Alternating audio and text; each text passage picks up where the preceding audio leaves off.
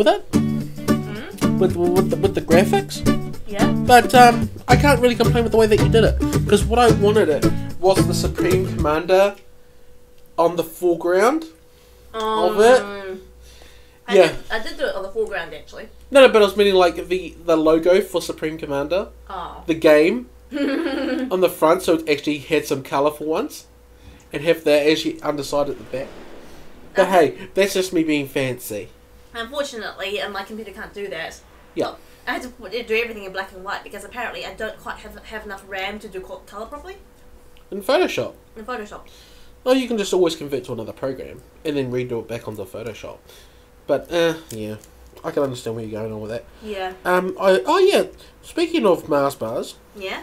I had this weird dream last night, and I actually um, looked up on the warehouse, Yeah. which if we have enough time, we may actually go there on the on before we go to quiz night. Yeah.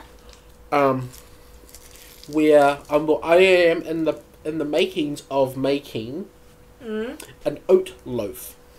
You are making oats loaf for the warehouse. No. I'm making the oat loaf with a a, a loaf tin that I'm going to buy from the warehouse, Yeah. and, and it's going to be a multi-layered one. Okay. So it's going to be oat, Yes. sultanas, oat, Mars bar, oat. An oat loaf lasagna. yes, an oat loaf lasagna. Pretty cool. In fact, why don't we make it? That's that sounds very pl- plausible. Yeah. But what do you think about that? I would eat it. Yeah. And um, I had something a little bit fancy, Mm. which is uh, like you think about the flavors, and go, huh? If you look behind you, and you grab that ISO pure, three point three pound thing of protein, beside the mochi, beside the macchiato. Right, right, right, right, right, right, right. Yes, and um, what? Yeah, I, I got this for twenty nine ninety nine, as it was a whey deal, which is part of um, NZ Muscle. And if you look at the flavour on the top, what does it say? Pineapple, orange, banana. W- would you consider that as a weird protein powder flavour? No. No. The man- the banana's a bit weird because it's basically tasteless, but if you have pineapple and orange, you basically got yourself a tropical tropical shake. Yeah, that that's true, and it does taste very f- tropical fizzy. I'm trying some. I'm going in. No, not this way. what she did is that she licked her finger. they realised how how unhygienic that was. Do you want me to make you a shake? Okay, or she's going in for the kill. Tastes like uh, tropical fizzy. Yeah. Don't spill it. Don't spill it because this is Mike's food. Yes. Never ever spoil the food of a university student, Yeah, very especially a broke one. And what I did the calculations for that because it is um, whey isolate, which is ninety percent protein. Yeah. If you calculate the figures and then project it back into a meat source, Yes. it is eight dollars sixty four a kilo. That's pretty damn cheap. Yeah, which is under my ten dollars per kilo threshold. Nice. Yeah. So the, the, the, that's why a lot of people would like to have protein powders as a backup. Right. So is that what you've been doing all week? Getting protein powders and Oh no, like because that? I've, I've got that one, and then I have the five pound um, BSN Syntha-6 in chocolate. But you know, because of the price and the conversion, I couldn't beat that. So Okay. in, in, instead of buying like a roast chicken or something like that, I would buy one of those. Interesting. Yeah. So, uh, how was your week anyway? Apart But, but, but So, firstly, but yeah. firstly, welcome back to the As Yet Undecided podcast with your conflicted hosts, Mike and Sophie. I thought it was my turn. Oh, uh, well, I'm sorry. You said how was your week without actually going into the introduction. But, Never it- but, it- mind. but it's okay. You can do the next two weeks. Okay, sure. Um, yeah, week was okay. Um, I was a little bit sick over the weekend, which was kind of a shame because I Aw. wanted to um, go to the museum and pay the respects before Anzac Day, um, because other things. But um, other than that, um, I rearranged the room where we do our filming. Um, and Sophie, what do you think about the rearrangement? Much better. Yeah, so what I've done is that I've made as maximum floor space as possible. Which you can see neither here or there. Um, and how was your week, Sophie? You seem very colourful today. Yay, thank you. Uh, yeah, I had a relaxing holiday over at Taupo with my um, dad's parents. Oh, so oh, yeah, that's right. Yeah. You've I've I've taken photos of the house. You've seen them. Yes, but I, I, I didn't put three and three together. What do you mean? That one you went to Taupo, Yeah. I thought I thought you were in the Waitakeres. Oh goodness, I said I said it in the um, European way, didn't I? I, I was supposed to say Taupo, not Taupo. But it's okay. Um, Sorry. so so how was Taupo? it was very relaxing, especially since we didn't have any internet most of the time. Yeah. And when we did have internet, it was about one megabit per second. So I did a bit of a digital detox. Aww. And the, the air was nice. We did a lot of walking. Majorly hilly. Um, it wasn't quite Taupo, but rather Acacia Heights, which means we were on top of a cliff most of the time. And that means a lot of walking up and down if we wanted to get anywhere meaningful. Um. Now, was that on the north or the south part of town? I believe it's north. Okay. Yeah. But Acacia Heights is the fancy as um, rich retirees area So- of Taupo. So is that beside Huka Falls? Near it, yeah. Yeah, Near okay. it, yeah. Yeah. Just just to get my geographical reference in check. So you'll have Taupo Town, then you Yes. have the road to Huka Falls, Yes. then you have the road to Acacia Bay. Okay. Yep. That makes sense. Yeah. Yep. Just you know, put put in my mind in it because I know those roads pretty well. Yeah. Um, in an infamous story, um, firstly, happy birthday to my mother. Her, her birthday was on Monday. Um, and one story that we went to my grandparents' place that they live in the Bay of Plenty. Mm. And we drove past Taupo at about 10.30 on New Year's Eve. yes. And, you know, what are the street lights there? The trout, right? Yeah. And my mother said, "Oh, look at the pretty dolphins," in in reference to the trap lights. And and guess what Mum called them? What? Prawns. No. What prawns? Prawns. I'm not too sure what's worse, dolphins or prawns. Prawns is definitely worse. Dolphins you can kind of get away with, Yeah. but pr- prawns? She was thinking of the Huka prawn farm. Okay, Yeah. okay. A- a- And actually, insane. How was the how how was the family outing as a whole? It was pretty cool. We did a lot. We um no, not a lot actually. We went quad biking. That's edge walking. Yeah. Yeah. H- hung out with Pete, my somewhat grandparents, Yeah, and Helene, his partner. yeah. And then what did you do for Anzac Day? Drove back home. You drove back home. Yeah. Okay. Um, but before Anzac Day, a few uh, days before, I bought an Anzac pin because I d- hate those tiny little crepe poppy poppies. They don't. They just don't last. That's and, right. And also, they produce a whole lot of waste as well. You know, the plastic waste at the end. Yes, um, and there was a big thing a couple of years ago where the RSA used to actually buy them in from China, Yeah. and people pick up a stink saying that you're not giving jobs to New Zealanders even though you're part of the RSA. Yeah. And um, it, it, it ended up changing their mind a little bit, but I still think that they're doing the majority of their poppies are made in China. Well, I got some ones made in New Zealand. I knew that because a whole lot of students handed up saying that, oh, we're getting to them to you for free because we made them. Yeah, So, so obviously, some people do make them Yeah. by, at home, as you know, volunteering service. yes. It'll be interesting when I go back to um, volunteering tomorrow at Elizabeth Knox to see how many people actually commemorated Anzac Day or how they do Yeah, it. yeah, it's true. Yeah. Um, I- and um, I didn't go to Anzac Day dawn service because You've been to many. yeah, I, I I've been to quite a few, and if you've if you've been to it once, you've been to them all pretty Okay. much. Right. Um, It's just the veterans gets less and less every year. That gets really awkward. So how in how many years do you think we'll ha- we'll have the veterans parade and there'll be nobody from World War One? well, it'll be pretty close to now. I mean, we still have a few. Yeah, yeah, we Very still, long lifers. Yeah. Oh no, no, no. There'll be none left. They were all. They'll be all from World War Two. Everyone's from World War Two now. Yeah. Oh, no, there's no no more veterans from World War One. I, I wouldn't think so I don't know. because that that would made me think that they were born pretty close to the turn of the century, Yeah. and the person, the la- the last person, the oldest person who was the last person who was born in the nineteenth century just passed away a week and a half ago.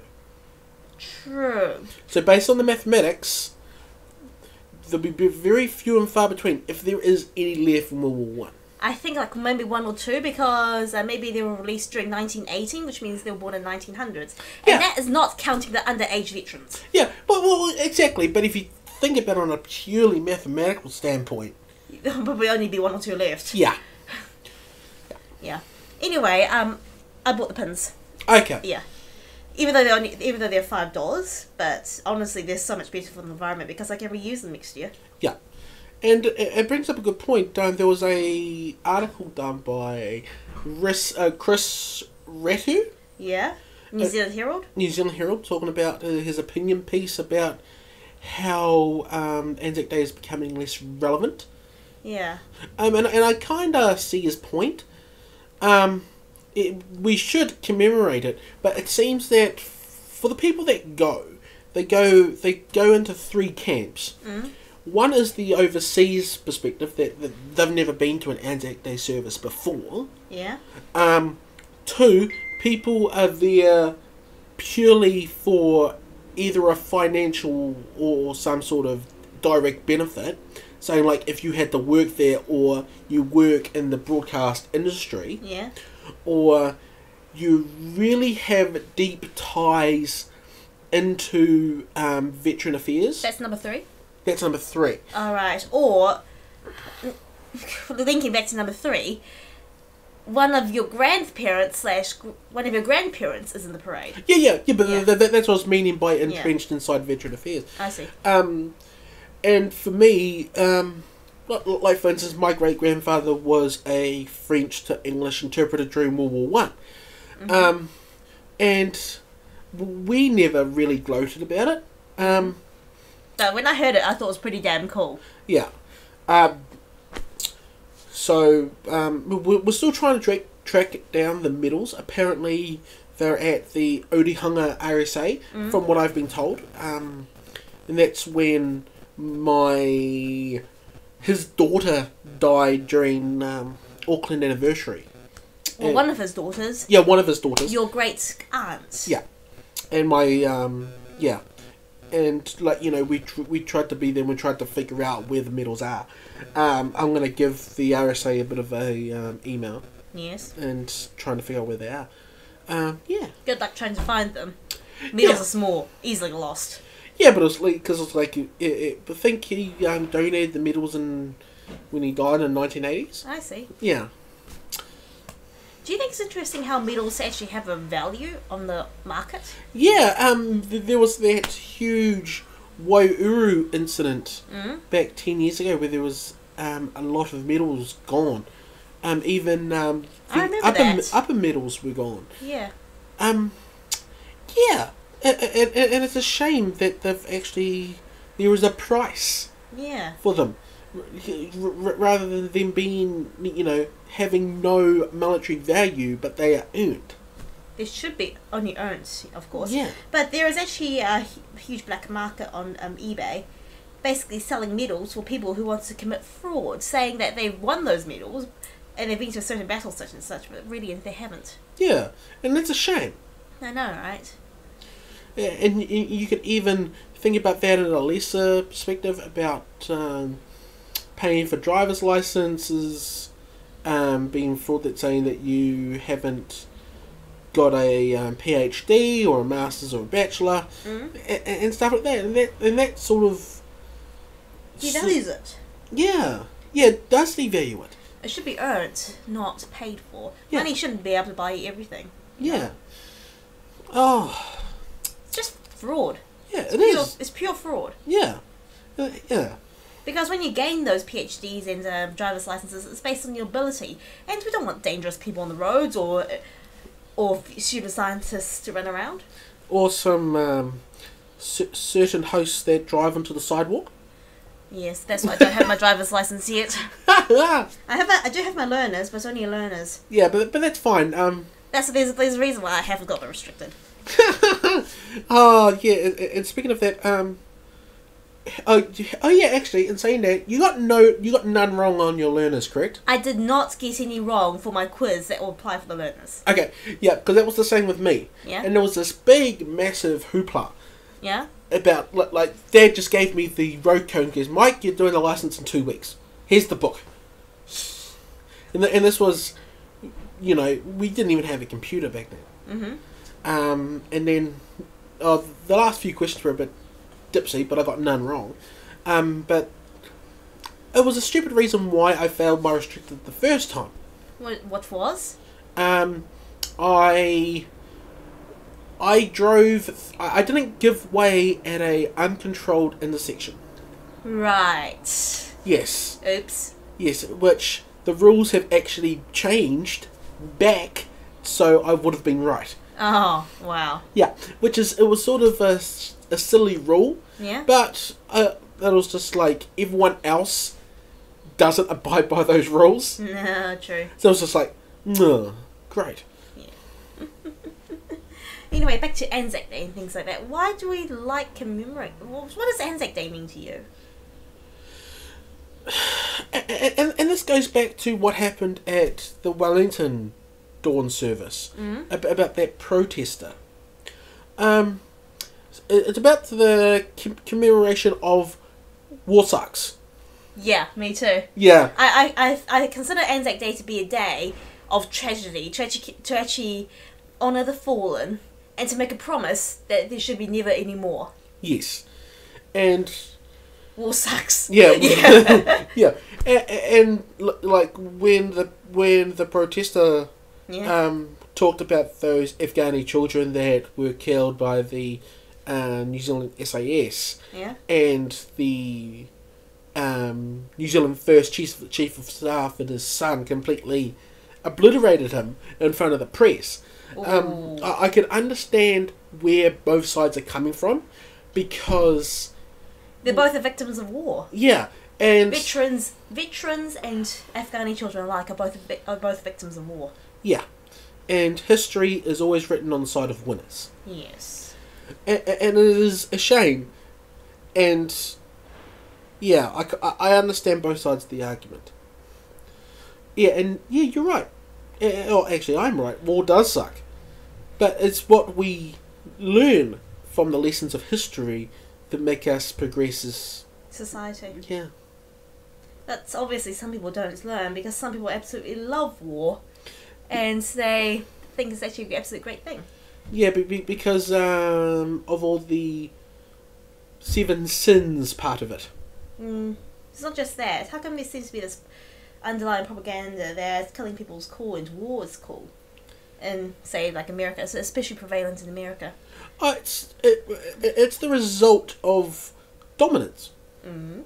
They want to maintain their superpoweredness as long as possible. To be aggressive. Yes. Okay, even though it produces a whole lot of innocent, even though a lot of innocent lives are dead, and even though it produces more harm than good. But it increases their GDP. Yeah, Yeah. crap. Yeah, I don't understand why.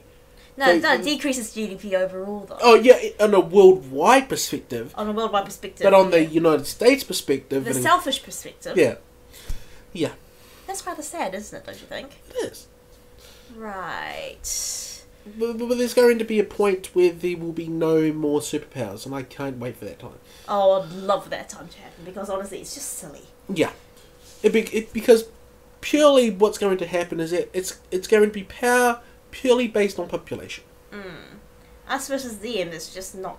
I don't get the whole us versus them model because everyone's human. Yeah, We can all win. I, I, I believe in win-win situations. you know, it'd be really nice Yeah. A worldwide tax rate. Hmm. I know you. Yeah. I know you can't maintain it. There is no way, but it'll be nice. Only if you have a world government. That's the only way you can actually enforce it. yeah. It's like then people would say, "Oh, isn't that why we have the United Nations?" Yeah, but no. No, United Nations are basically a core of diplomacy. They don't really have any real power. There's just a whole lot of influence and pressure. Yeah. They don't really have any real power. There's just, it's just a think of it more towards a club room rather than the parliament. But you know what would Mm? be the start of having a world government? What? Aliens coming to Earth. Mars attacks. Yeah, yeah, but yeah, but but not that. Oh, not just that, or Vulcans. Uh, So, do Yeah, you think yeah. Any sort of intelligible alien race. So, um, so the so um, would you rather? Oh no, silly question. Okay, the aliens, if they ever do come to Earth, do you think they they'll lean more towards the Vulcans or the Martians from Mars Attacks? It'd be more towards the Vulcans. I sincerely hope it's the Vulcans as well, because honestly, that that Vulcans coming to Earth managed to kickstart the whole Star Trek universe, and let me tell you, that universe is awesome. yes, the whole fact that that there is no currency. I love that part of it. Yeah, no, kind of is. There kind of is a bit, a little bit of currency, but Yeah, it's yeah, a- a little bit. It's not quite as important as currency of today. Yeah, Yeah, but honestly, I'd love for there to be a Star Trek world. yeah. Yeah. So, so what would you do on the Starship Enterprise, Sophie? I- I- If there, if there was a role for you on the Starship, uh, on the Star Trek universe, what would you be? What do you think I'll be? I would think you'd be the analyst, like, like Data. Data, data, data. Like what? Data. What does he do again? I it's been so long since I watched the films, and I've never watched the TV shows. He, he he's pretty much the information Yeah. and make sure everything's okay. Oh yeah. Yeah. Oh cool. Yeah, that'll be me. Yeah. Or maybe the lawyer. Well, maybe, Yeah. maybe. Yeah, because James. Because if I remember correctly, James T. Kirk got into trouble a lot. Oh, yeah. Okay, so you want to be Spock? Yeah. Yeah. That makes sense, right? Da- Yeah, that makes Data, sense. Data was was the Spock of the next generation. Yeah. Yeah. I can understand that. Yeah. What do you think about me then? Uh, I think you're more towards um, Nurse Chapel. Yeah, yeah, uh, yeah. Either Nurse Chapel or Whoopi Goldberg. So like the person Oh, yeah. behind the bar. Yeah. the, the, the clairvoyant. Yeah, yeah, the clairvoyant. Yeah. Yeah. So so like talking about everyone's issues and trying to resolve them. Yeah, that's me in a nutshell. How about the psychologist? The, the psychic Yeah, yeah. I, I could be that. Yeah. I could be that easily. Like yes, I understand what you mean, but if you think about this perspective and all that sort of stuff, I'm just like yeah, Yeah, yeah, yeah. That's you. yeah. Which, of course, leads to the strange question of why why do you think shooting games are so popular? Ah, it's Because Star Trek was made into a shooting game of sorts. Well, it's well. There's either in two boats. Like, why do people play video games anyway? In the first place, um, is that point of escapism? Um, I play video games to relax and a little bit of escapism. Yeah. But I can't make the escapism go too far because I really genuinely don't like killing people. Yeah, it's um. Well, wha- what I've noticed with you, uh, uh, and you know, take this as you will. yeah. You are very involved Yeah. in everything. Yes. Um. I never do things by half asses. Yeah. I do things with a whole ass. Yeah.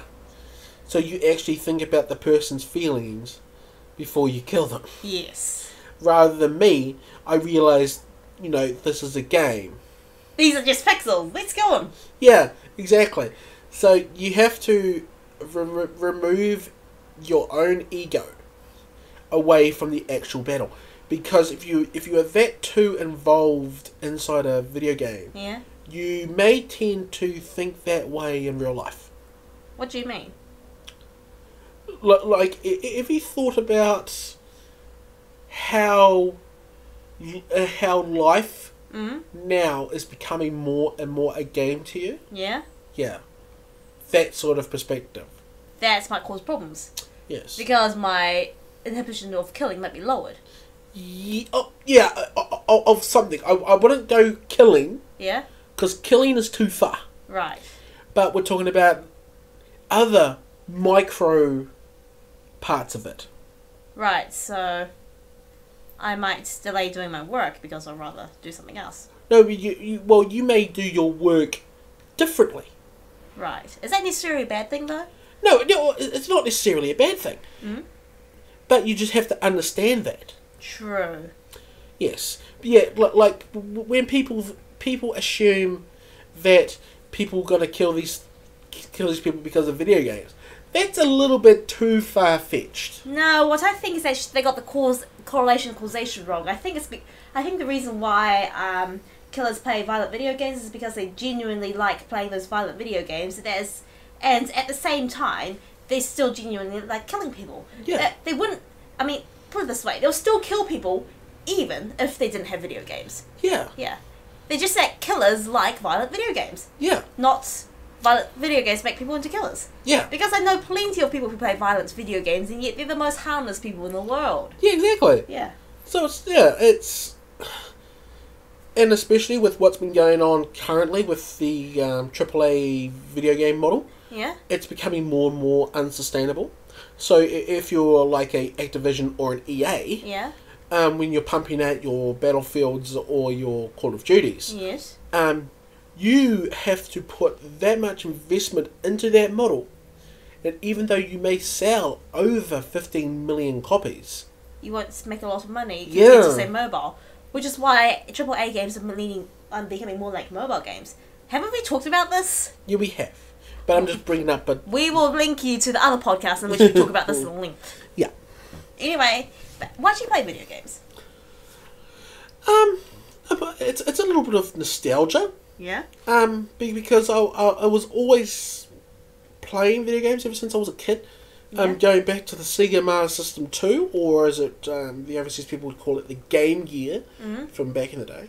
Um, and that's why most of the games that I play are usually one released ages ago to acclaim, Mhm. and two just reminds me back when I was a kid. Three. Yeah.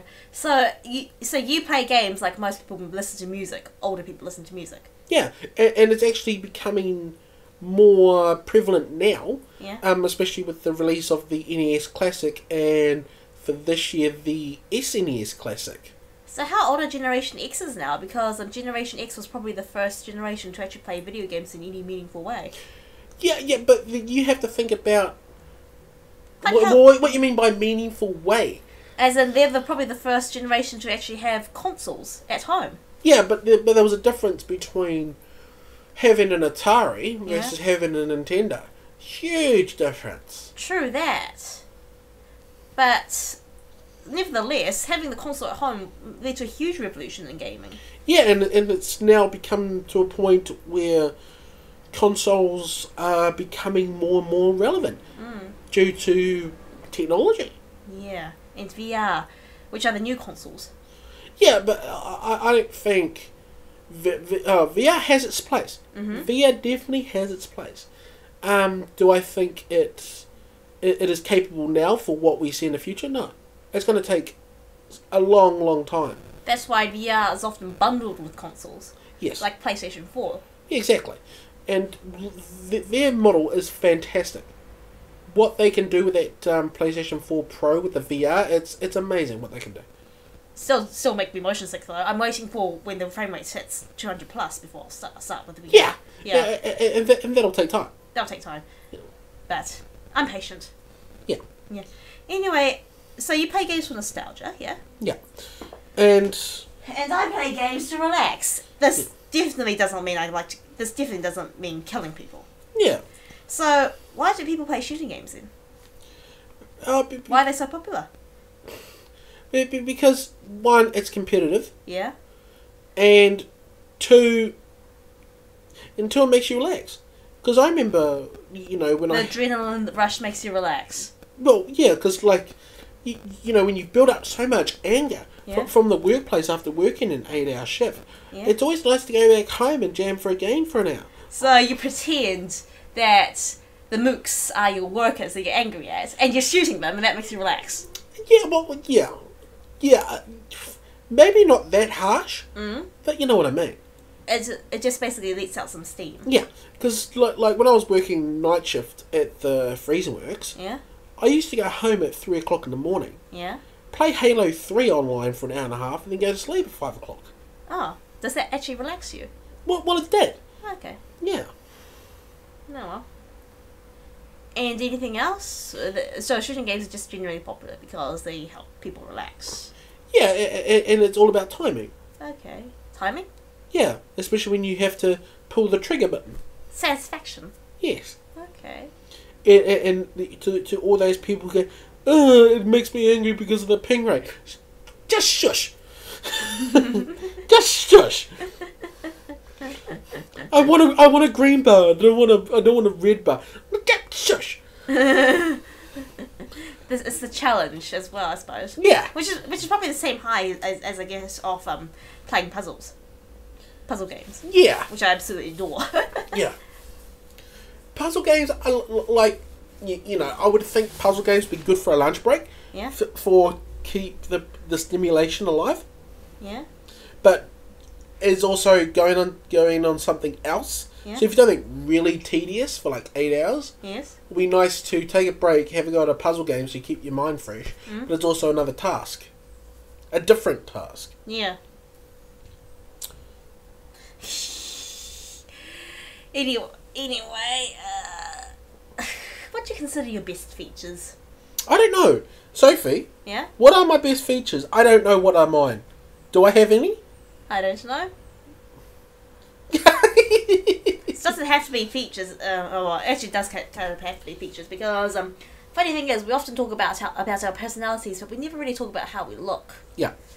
Um, Um, once we look in the mirror every day, like, I guess it's a little bit healthy to think that you're relatively pretty. I suppose. Just don't get to the point that you think you're the most beautiful person in the room. yes. That's yeah. maybe going a bit far. Vain much? Vain. Um, when you look in the mirror, what do you consider is the best feature on your face? my eyes, technically. Yeah. Um, be- because of of my eye color. Because technically, it's it's clear, yeah. but it's that it's that light bluish color Yeah. that a, a lot of people like. I do actually. Me too. Yeah, but my most redeeming feature is what's inside my face, What? my brain. We're not talking about that, Mike. Yeah, I know. We talked about that enough, but yeah. I think I think for me it's my hair. Yeah. So how many split ends do you have currently? None. That's one of the great things about my hair. It actually goes up to my hips, but there's act- but there's very little split ends. It's just soft. It's so soft and healthy. Mike's petting it right now. What do you think, Mike? Yeah, it's pretty smooth. Yeah, smooth, thick, lots of it. Yeah, and, and if you look at photos of me when I was a kid, Yeah. I had so much hair. What happened? Um, genetics happened. Oh, that's so sad, isn't it? it's okay. Um, it, it, it's always it's always nice to accept the inevitable, yeah. e- even though I cling to it like dear life. But I, I, I'm just going through it gracefully. Do you think you'll go to a hair loss specialist? No, no, no, no. It's no. Do you think you might shave? Go bald? Uh, I don't actually suit it that much. So like, like, like there'll, there'll be a point in time where it will be all gone. Yeah. But for now, We're fine. I'm fine. Oh. No, that's not. I think we should actually finish because, you know, Yeah, of course. on Uh, worldly wisdoms. yes. Um, I'll let you finish it off. You can. Okay, we are the As Yet Undecided podcast. And you can contact us on asyaundecided at gmail.com or you can contact us individually. I am Sophie. Um, you can find me on Sophie9709 on most platforms apart from Instagram. Sorry, Russian Sophie. And you can contact me on the Marnus, that's T H E M A R N U S, on all platforms. Um, have a good week, guys. Um, April's over. Yes, April's almost over. Oh well, there we go. And a stop.